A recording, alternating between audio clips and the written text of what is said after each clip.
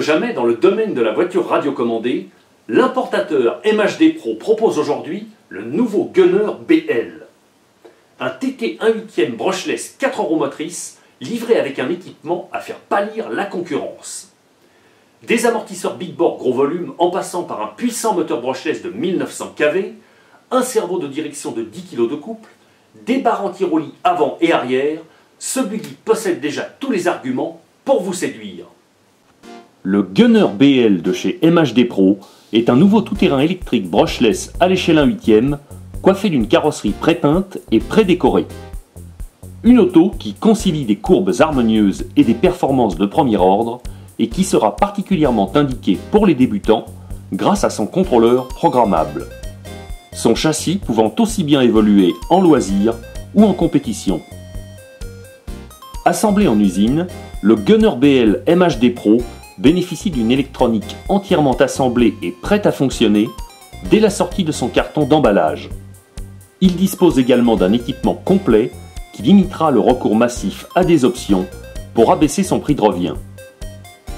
Celui-ci comprenant notamment un cerveau de direction de 10 kg de couple composé de pignons métalliques, une transmission sur roulement à billes composée de trois différentiels, ainsi que tous les différents cordons de liaison permettant de fonctionner avec des Aculipo 3S ou 2x2S. Le Gunner BL est livré avec une radio à volant MHD 3S en 2 Go 4, un Aculipo 3S de 11 v 1 en 4000 mAh et un chargeur rapide Ultimate Pro 3 qui rechargera le pack en 2h30 de temps. L'émetteur dispose de quelques réglages indispensables et fonctionne avec un Aculipo extra plat de 3V7 que l'on rechargera via son PC à l'aide du cordon fourni. Bardé d'un équipement complet, le train avant de ce TT demeure multi-réglable et il est équipé d'une barre anti-roulis de 2 mm 5.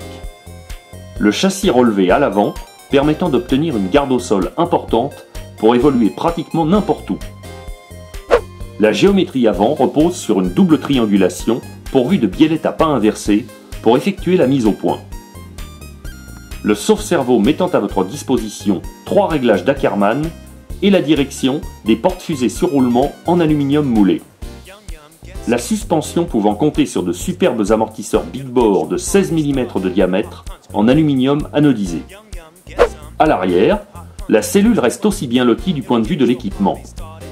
Elle reprend une barre anti-roulis plus grosse dont le diamètre a été porté à 2 mm 6 et met à votre disposition des réglages supplémentaires pour parfaire la mise au point. Le support amortisseur de 3 mm d'épaisseur propose 3 ancrages et retient des amortisseurs rallongés. La transmission sur roulement à billes adopte des quarts d'endroit à boules goupillées et des pneus multi-surface et la géométrie se part enfin de tirant à pas inversé. Côté moteur, le Gunner BL se part d'un moteur brushless de 1900 kV complété d'un gigantesque ventilateur de refroidissement. Le moteur disposant d'origine d'un pignon en acier de 16 dents interchangeable pour pouvoir faire évoluer le rapport de transmission. Un contrôleur étanche de 80 A veillant au grain pour rendre le moteur plus ou moins progressif dans ses performances.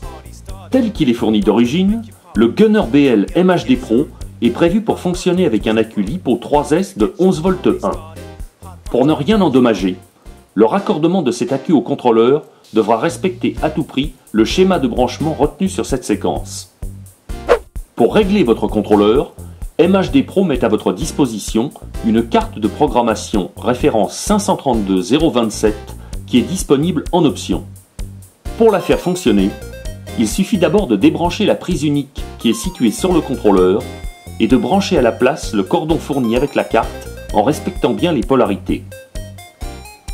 Cordon qui sera lui-même relié au dos de la carte sur l'emplacement de droite de celle-ci. Ensuite, vous devez débrancher la prise d'alimentation de la piste CH2 du récepteur et mettre cette même prise sur la deuxième et dernière entrée de la carte de programmation située à gauche du boîtier. À la mise sous tension de la carte de programmation, deux chiffres rouges apparaissent sur l'écran de contrôle. Le premier situé à gauche indique la valeur de la programmation, le second le mode de fonctionnement souhaité. À partir de là, le fonctionnement de cette carte est hyper simple. Celui-ci s'opère via quatre touches selon le mode de fonctionnement suivant. La touche Item permet de sélectionner le réglage à programmer ou à modifier. La touche Value permet de régler la préférence de programmation. La touche OK permet de confirmer le réglage sélectionné. Et enfin, la touche Reset permet de revenir au réglage de base.